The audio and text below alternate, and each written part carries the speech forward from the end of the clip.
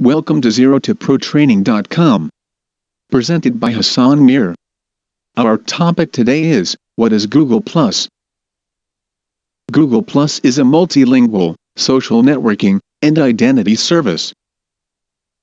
It is sometimes pronounced as Google Plus and also known as G Plus.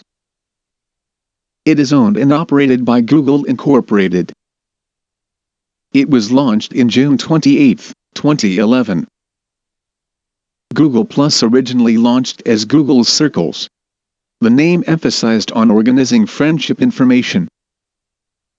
Google Plus is considered the company's fourth product into social networking.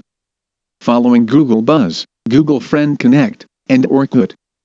Google Buzz and Google Friend Connect are now retired. While Orkut is owned by Google's Brazilian subsidiary.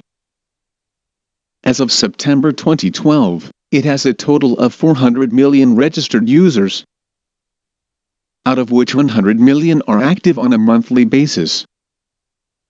Unlike other conventional social networks, which are generally accessed through a single website, Google has described Google Plus as a social layer consisting of not just a single site, but rather an overarching layer, which covers many of its online properties. Sources such as the New York Times have declared it Google's biggest attempt to rival the social network Facebook, which has over 800 million users.